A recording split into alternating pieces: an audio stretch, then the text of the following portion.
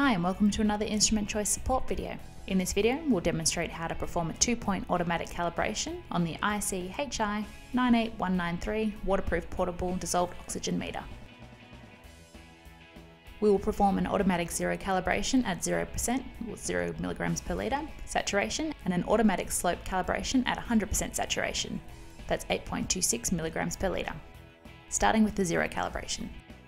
We're using the MA90700 zero oxygen solution that comes in a 500ml bottle. Link for this is in the description.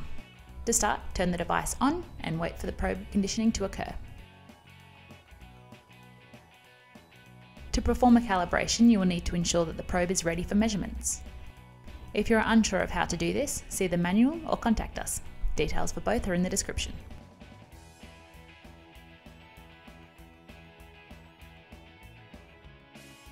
Submerge the probe into the zero oxygen solution and stir gently for 2 to 3 minutes.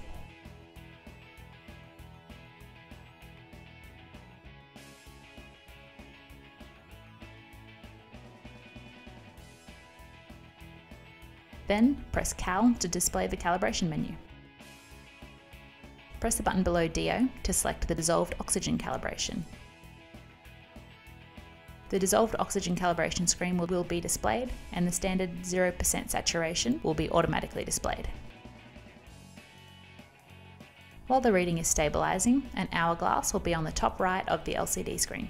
When the reading is stable and within the range of the standard, the CFM functional key is displayed. Press the CFM key to confirm the calibration point. If you are performing a 1.0 calibration only, press Escape. The calibration will be automatically saved. To continue on with the second point, IC-HI 98193 automatically moves on to calibrate automatic slope calibration at 100% saturation. This is 8.26 milligrams per litre. For the automatic slope calibration, remove the probe from the zero oxygen solution and leave the probe in air to dry.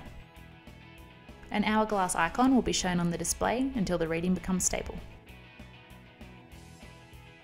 When the reading becomes stable within an acceptable range of the selected standard, the CFM function key is displayed. Press the CFM button to confirm the calibration point. The device will then return to the main screen with both the calibration points saved. And that's how to perform two points of automatic calibration on the IC HI 98193 waterproof portable dissolved oxygen meter. If you have any questions or would like any more information on this product, speak to an instrument choice scientist. Details are in the description. We hope that you found this video helpful. Thanks for watching.